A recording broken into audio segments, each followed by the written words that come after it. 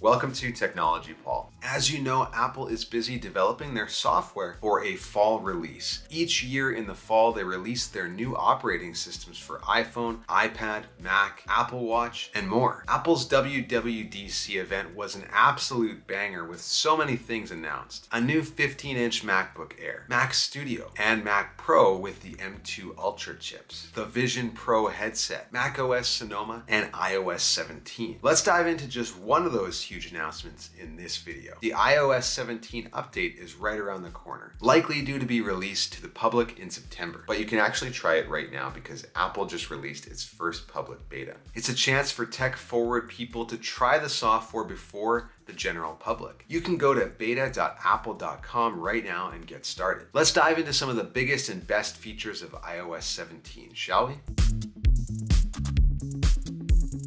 Let's start with how Apple is making phone calls more fun. How are they doing that? With cool contact posters. You can create your own contact poster that shows up on your recipient's iPhone whenever you call. This is a great way to personalize things rather than just having the standard phone call screen. Not only does your contact poster get shown when you call a contact of yours, but in their contacts app, there's now a full contact poster view instead of the small contact images from before. This is a more visually appealing and personalized way to view contacts. And the fact that the end result is owned by you, the actual contact, is pretty cool. I made a simple one with my Memoji, but you can use any photos you have as well. You can customize the image, font, as well as text and background colors. You can always change it up later too. I think people are really gonna have a lot of fun with these. Here's another way Apple is revolutionizing the phone call.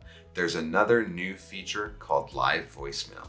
Basically, when someone calls you and you don't pick up, they leave a voicemail. Of course, the experience for them is nothing new. You, on the other hand, get a live transcription of the voicemail they are leaving. This way you know exactly why they're calling. When you have this kind of context, you might decide to call them back right away. But even better, you can actually pick up the call while they are leaving the voicemail. This used to be a thing in the 90s, I believe, when people had those answering machines. You could listen to the person leaving the voicemail, but you could also pick up the call while they were in the middle of it. Well, Apple is bringing this back in a big way with live voicemail. The best part is that the way Apple has implemented this feature, it doesn't appear that carriers will be able to charge extra for it, the way they have for visual voicemail. This is because it seems the iPhone is effectively answering the call in an automated way and recording the voicemail locally on the phone. This is a great move by Apple and allows us to get an extra feature without the extra charge. Apple's also adding something similar to voicemail to their FaceTime app. Now, when you call someone through FaceTime and they aren't available, you can record a video message for them to view later. The recipient will receive a notification that you left them a FaceTime message, and they can watch it at their convenience. I don't really use FaceTime a ton, but I could see this being great for people who do. But that's not all that's new with FaceTime.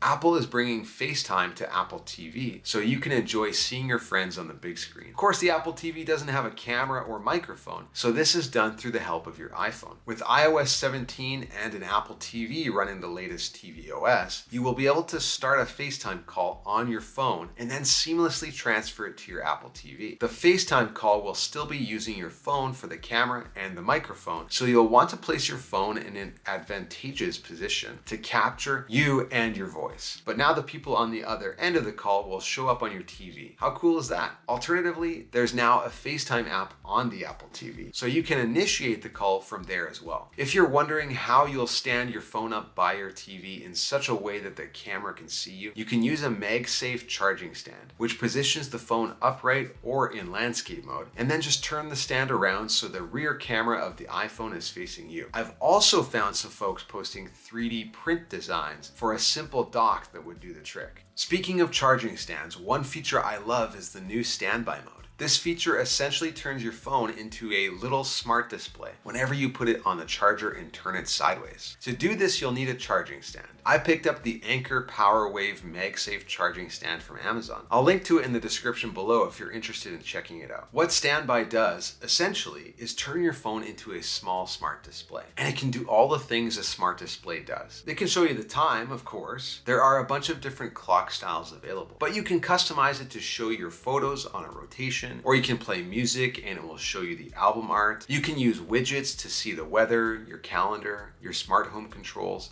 and so on. The idea is to give you glanceable information that is meant to be viewed at a distance. I personally think this is Apple's answer to smart displays like Google Hub. I think what they're trying to say is, why buy a smart display when all you have to do is turn your phone sideways and it becomes one. Or perhaps we're seeing early signals of what the interface may look like once Apple brings out their own smart display. Either way, I kind of want to get these charging stands everywhere now my bedside table, kitchen counter, my desk in the office. I want my phone in standby mode whenever I put it down. Apple is also upgrading their widgets you can now interact with your widgets directly from the widget panel. In the previous version of iOS, tapping on the widget would take you to the corresponding app. So widgets were more for at-a-glance informational purposes and to be somewhat of a bookmark on your home screen. Now with iOS 17, you can update information in the corresponding app without ever leaving your home screen.